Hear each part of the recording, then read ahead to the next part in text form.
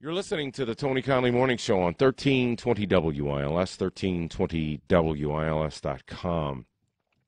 Cleaning for a Reason brings clean homes to women undergoing cancer treatment. What a cool organization uh, with a cool model. Let's learn a little bit more about this from Debbie Sardone, who is the founder uh, of the nonprofit Cleaning for a Reason. Debbie, did I do your last name uh, justice? You sure did. You got it right. All right. Tell us about your organization. Where'd you get the idea? How did it start? And, and, and give us the details about what you do. Absolutely.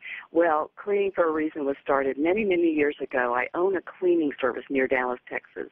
And I took a phone call from a woman who was just inquiring about pricing. And I told her the price for cleaning her house.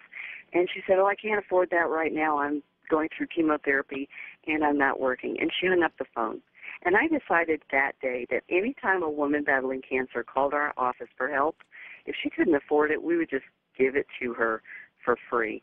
And then 2006, I took that little company policy a step further, formed a nonprofit, Cleaning for a Reason, and I started recruiting maid services all over the country. And we now have over 1,100 cleaning services that are donating their time in all 50 states.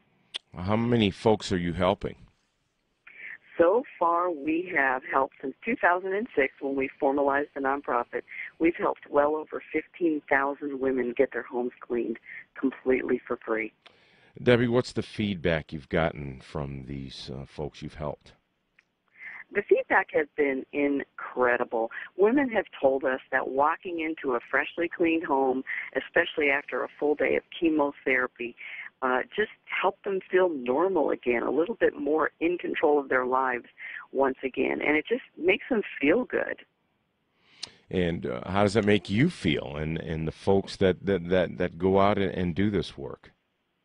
You know, it's the most rewarding thing I've ever done in business, and that is to give away a little bit of what I do for a living to uh, another person who needs our help and maybe can't afford it. All right, October is National Breast Cancer Awareness Month. Uh, who's eligible for this, and, and how do they get in touch with you to find out if they can be helped?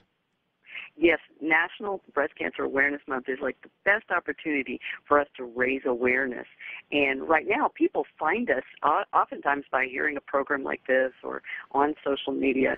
And during the month of October, if you're in Walmart stores, you'll see Swiffer, pink Swiffer products that are on branded pallets that have our logo, Cleaning for a Reason, and our website, cleaningforareason.org. And so more people will be exposed and will hear about Cleaning for a Reason during Breast Cancer Awareness Month, but it's actually available all year long. And so anyone can go to cleaningforareason.org and apply for themselves or for someone in their life. All right. Uh, great work you're doing, uh, Debbie. We appreciate your time so much, and uh, we'll spread the word for you. Thank you for your help.